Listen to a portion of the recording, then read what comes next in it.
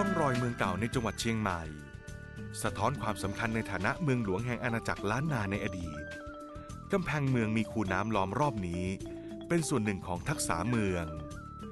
คือการจัดวางตำแหน่งต่างๆ ในผังเมืองบนความเชื่อสิริมงคลล้านนา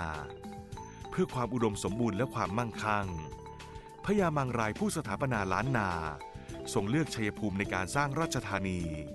ตามคติความเชื่อที่สืบมาจากหริพุนชัย ตำแหน่งของเมืองเชียงใหม่ ที่มีแม่น้ำขาไหลลงจากดอยสุเทพ ผ่านเข้าหล่อเลี้ยงภูเมือง เปรียบได้กับลำน้ำโรฮินี ที่ไหลลงจากภูเขาศักดิ์สิทธิ์เมืองปุรานคร ในตำนานมูลศาสนา โดยสุเทพยังเป็นพื้นที่ศักดิ์สิทธิ์ของชาวลัวชนพื้นเมืองดั้งเดิม อีกทั้งบนดอยปุยที่เป็นยอดสูงสุด